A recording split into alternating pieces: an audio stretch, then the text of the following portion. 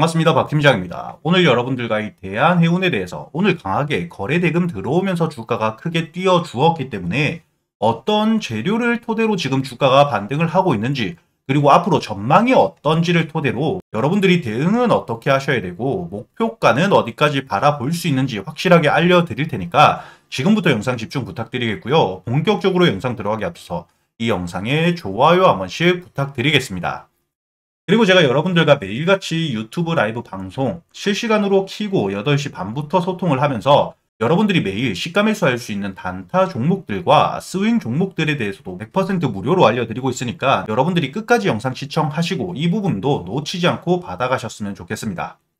우선 여러분들이 이렇게 대한해운이 주가가 오늘 강하게 상승한 이유에 대해서 먼저 알고 가셔야겠죠. 제가 기사를 하나 가지고 왔습니다. 여기 기사를 보시게 된다면 이 대한해운 일회성 이익이지만 시가총액의 40%에 달하는 규모라는 게 보이실 겁니다. 이 기사 내용을 제가 간단하게 이야기를 해드리자면 선박 내척을 매각하면서 대한해운이 2,500억이 넘는 약 2,700억 가량의 유형자산에 대한 평가이익을 올렸습니다.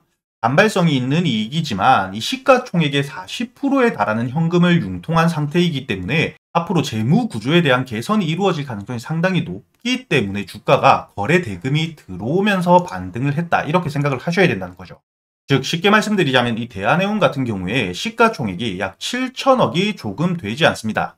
이 7천억이 조금 되지 않는 기업에서 선박 내척에 대한 매도를 진행하면서 2,700억에 달하는 시가총액의 40%에 달하는 단기적인 이익을 올렸기 때문에 이를 통해서 재무 구조에 대한 개선이 이루어질 수밖에 없고요.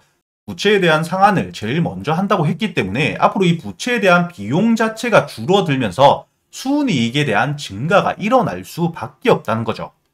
이렇게 핵심적인 재료를 가지고 재무구조, 실질적인 기업의 가치가 상승할 수밖에 없는 이슈가 발생을 한 거기 때문에 이런 재료를 토대로 지금 주가가 강하게 반등을 하고 있는데 이뿐만이 아닙니다. 이번 7월까지 대한해운의 추가적인 공급 계약에 대한 이야기가 진행이 되고 있는 상태이기 때문에 앞으로도 매출이 발생할 가능성이 상당히 높고요. 이를 토대로 전 고점인 2,800원대도 뚫어주고 올라갈 수 있는 시점이라는 거죠. 그렇기 때문에 여러분들이 주가가 만약에 내일부터 눌리게 된다면 지금 여러분들이 2,300원대 지지라인 위에서 거래대금을 동반하면서 이 지지라인을 깨지 않는 이상엔 홀딩 가능하고 충분히 여러분들이 추가 매수 혹은 신규 매수도 가능하다는 겁니다. 그리고 제가 아까 말씀드린 것처럼 이번 7월 달에 핵심적인 공시 내용들 나올 거기 때문에 이때까지 여러분들이 충분히 지켜보실 수가 있다는 거죠.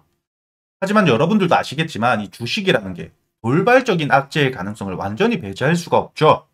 그렇기 때문에 제가 매일같이 여러분들과 이 유튜브 라이브 방송 8시 반부터 방송을 키고 여러분들과 함께 소통을 해드리고 있기 때문에 여러분들이 혼자서 걱정하실 필요도 절대 없다는 겁니다.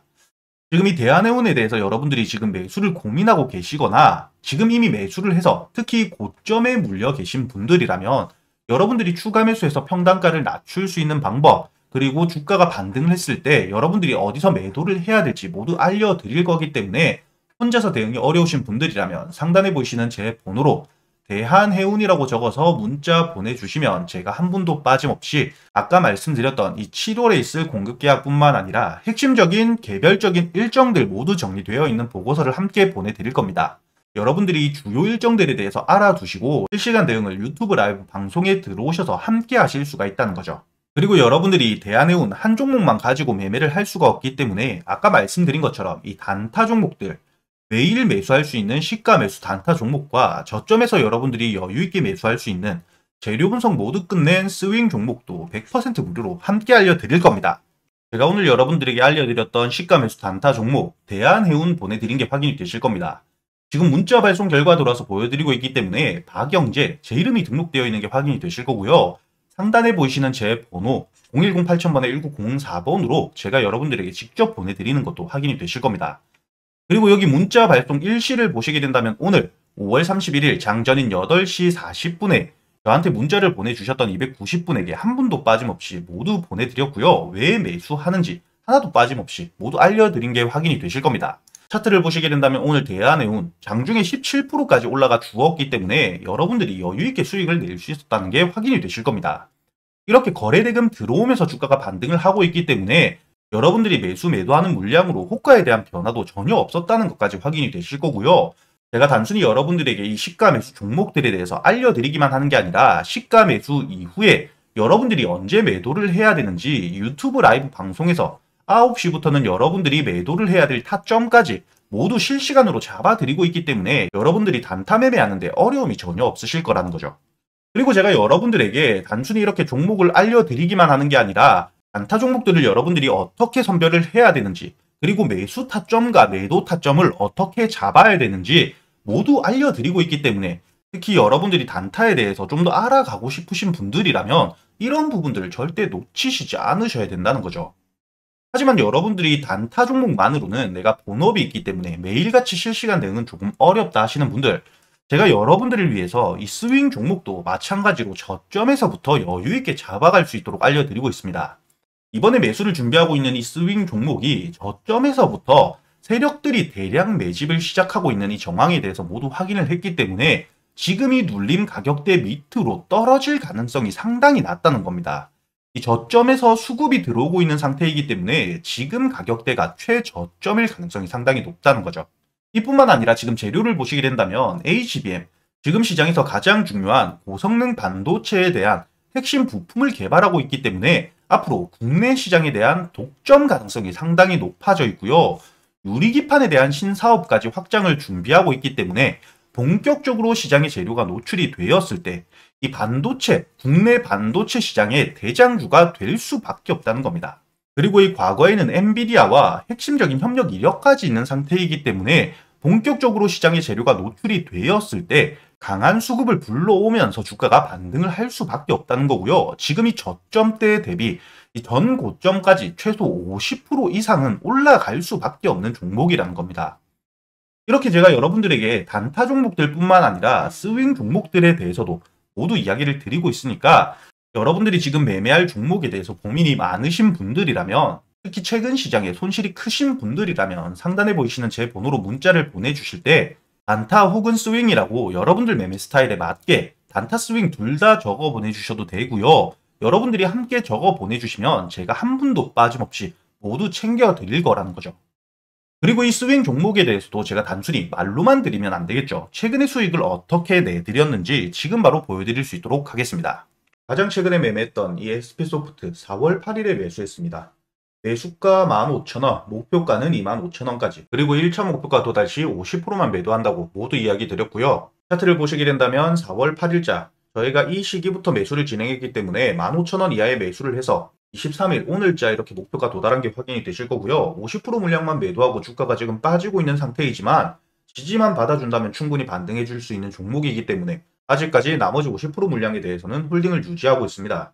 저희가 15,000원에 매수를 했기 때문에 여기 보시게 된다면 15,000원부터 목표가 1차 목표가인 25,000원까지 60% 넘게 이렇게 수익을 내고 나온 게 눈으로 확인되실 거고요. 그리고 3월 26일에 LS 일렉트릭 95,000원 이하의 매수해서 목표가 15만원까지 마찬가지로 1차 목표가도 다시 50%만 매도한 게 확인이 되실 겁니다. 차트로 확인을 해보시더라도 저희가 이렇게 3월 26일 이 시점에 95,000원 이하의 매수를 했기 때문에 여러분들이 여유있게 매수를 해가지고 1차 목표가였던 15만원 도달 이후에 50% 물량은 아직도 마찬가지로 유지하면서 추가적인 수익 이렇게 챙겨가고 있는 거죠. 마지막으로 살펴보실 이 피롭틱스 마찬가지로 3월 6일에 매수를 한 이후에 매수가 13,500원, 목표가는 1차적으로 27,000원까지 제가 알려드렸습니다. 히롭틱스도 지금 보시게 된다면 13,500원 이하에 충분히 여러분들이 여유있게 매수를 할 수 있었다는 게 확인이 되실 거고요. 1차 목표가인 27,000원까지 여러분들이 여유있게 가져간 이후 50% 물량은 아직까지 홀딩을 하고 있기 때문에 지금 보시게 된다면 이렇게 저점에서 매수했기 때문에 고점 찍고 주가 눌리는 시점에도 여러분들이 이렇게 지지를 받아야 될 라인까지만 깨지 않는다면 홀딩하면서 추가적으로 여러분들이 가져가면서 수익을 낼 수가 있다는 거죠. 이렇게 스윙 종목에 대해서는 확실히 눌림 구간에서 여러분들이 추격 매수를 하는 게 아니라 본격적인 상승이 나오기 이전에 여러분들이 매수할 수 있게끔 제가 책임지고 모두 알려드리고 있기 때문에 여러분들이 문자를 보내주실 때 이렇게 단타 혹은 스윙이라고 여러분들 매매 스타일에 맞게 적어서 보내주시면 제가 이 부분 하나도 빠짐없이 모두 챙겨 드릴 겁니다. 그렇기 때문에 최근에 매매하시면서 손실이 크셨던 분들 내가 사기만 하면 고점 찍고 내려간다 하시는 분들 이렇게 저점에서부터 여러분들이 상승 모멘텀이 확실한 종목으로 안전하게 매매하면서 계좌의 수익 쌓아갈 수 있었으면 좋겠습니다.